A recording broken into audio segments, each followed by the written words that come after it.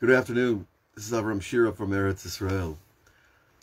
Welcome to our afternoon uh, Erev Shabbat talk. Today we're going to discuss an idea that's a little difficult to talk about sometimes, the idea of living or dying for God.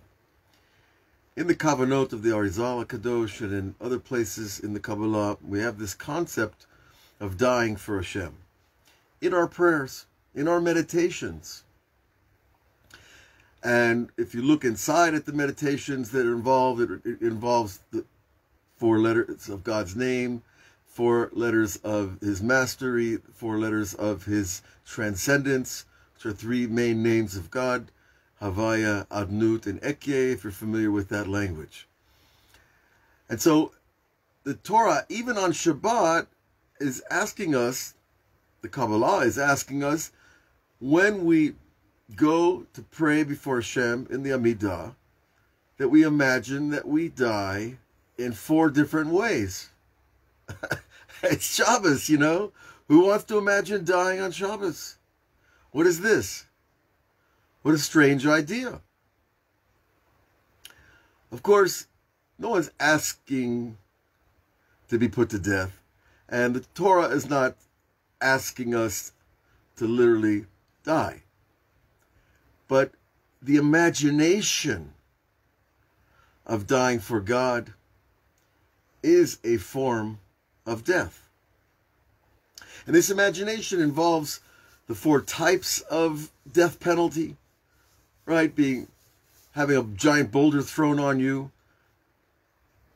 molten lead being poured down your throat, a sword across the neck. That's that's kind of standard, right? And of course,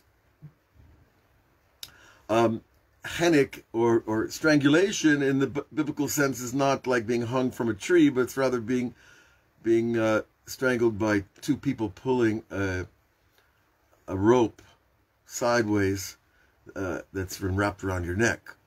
So these four types of death penalty are pretty brutal. Uh, of course, they correspond to different types of sins. Sins that have to do with different parts of the body, different types of intentions, and each of them corresponds to certain aspects, as we said, of God's name and also of the soul in a human being. And, you know, it's all very nicely laid out for us, this idea, at least the simple idea of what you're doing. But what are we doing? Why are we imagining dying for God? And on Shabbos, we assume that we've already done Shabbat, uh, done repentance before Shabbat. So the Arizal steps in and tells us, well, the, the intention is that by being willing and imagining our death, we're actually drawing new light into the world that in actuality, by being willing to die for Hashem, we extend the life force in this world.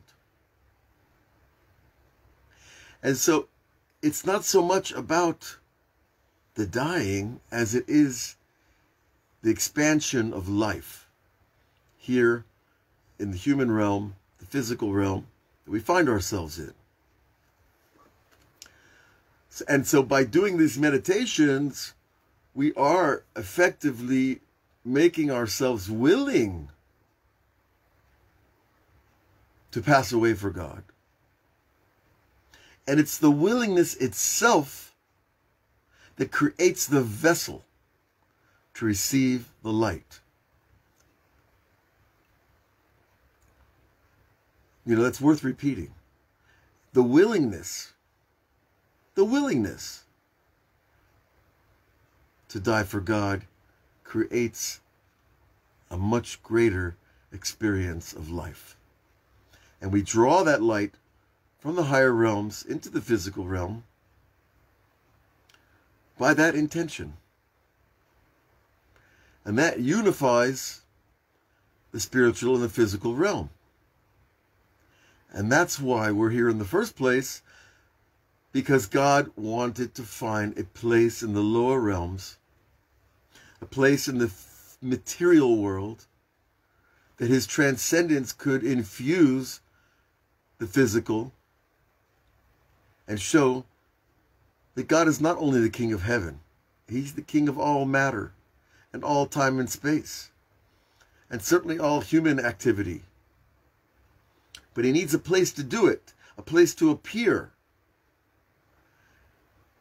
You know, He can appear at Mount Sinai once in a while, you know, give the Torah, fire and lightning, miracles happening all over the place, people being healed, people living long lives, healthy, clear, intelligent, sharp for 120 years. But that doesn't happen too often. God revealing himself because he wants it to happen in another way. He wants it to happen through human activity. Because that's a greater sanctification of his name. When it happens through his presence in human activity. So when we talk about dying for God's name, we're really talking about living for God's name. But it's that willingness that creates the vessel the, that in, enables us to experience the fullness of life. Now, I remember a long time ago, well, it seems like a long time to me, three decades, not so long in Jewish time, that I came to this realization that if I'm not willing to die for God, that I'm, I'm not going anywhere in this life. Because it feels like death all around, you know, people dying and bad news and, and, and illnesses and frustration and, well, my own ignorance, be honest with you. It felt like a little bit of death. You know, Reb Shlomo Carlebach said, you know, every time we fast, it's like a little tiny death. Fasting. And we have a fast coming up on Sunday. And it's the fast of the 17th of Tammuz, the beginning of the three weeks when the walls of, the, of Jerusalem were breached. And of course, the continuation of the remembering the tragedy of Jerusalem and losing the temple. But all of that activity that surrounds death in Judaism is only to conclude and extend life beyond our parameters of understanding. You know, people are the actually the number two thing people are afraid of is death. Number one is public speaking. if you haven't heard that one, it's a study they did. And people equate, and the rabbis also equate public embarrassment to a form of death as well. I think I'd rather have the public embarrassment than the actual death, but okay, everybody uh, where wherever they're, they shine the mirror. But the truth is, is that when we experience shame, public shame, well, what's what, what's dying? Why is it called uh, Malbin Penei Chavero Berabim? Someone who embarrasses his friend in public? Hayav Mita. It's as if he's he's in, invoked the death penalty for embarrassing his friend. Because his friend experienced a little bit of death by that shame. Now, but why does the shame a death because I had an illusion in my mind about myself that had to be taken away. And that's the thing that dies when we're embarrassed. People don't care. People are not looking for your shame. People are not looking to see you embarrassed on Facebook.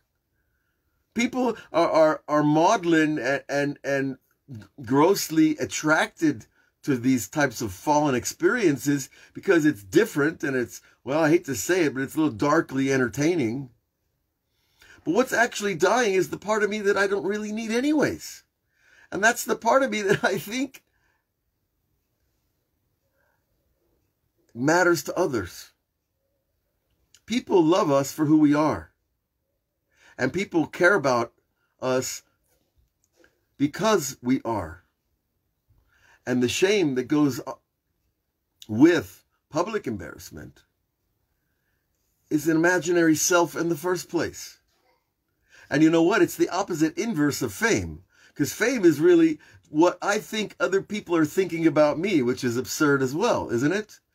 That if you think about what the other person is thinking about you, that's that's vanity. But it's that's what that's what fame is. Oh, I'm famous. Well, you're famous. Well, that just means you're concerned with what other people are holding in their mind about you, as opposed to uh, being concerned about how I'm holding in God's mind and what He is considered, eh, eh, what He considers important. So this little death that, that's being asked from us by the Kabbalists and these meditations, when we say Shema Yisrael and when we enter the Amidah, even on Shabbat, the day of life, the day of the celebration of existence, let's just understand what we're getting rid of is something we need to get rid of anyways. That's our ego. That's our vanity. And by just being willing, we already create the space for Hashem's light to appear in the physical realm. And that's a sanctification, and that's a unification where all worlds, physical and spiritual, unite and become one. You know, it it's something that you can learn inside out. You can meditate on the names, or you can just see the image. See the image of one of these types of death that really, I deserve this and this and this and this. And you see it and you feel a tiny spark of it. It's enough to make us re-establish, I should say, our spiritual posture with God. Our spiritual posture meaning I, I, I get an adjustment, you know, between what I think is the reality and what, well, is the, a much greater reality. So that spiritual adjustment takes place just by imagining that we're not going to be here. You know, by imagining that little moment in the death penalty sentencing at the Beis Din downtown that's enough to get the adjustment we need. And that actually extends new life into the world. And ultimately, that's what Shabbat does. Shabbat doesn't ask us to die, but you see, the meditations do.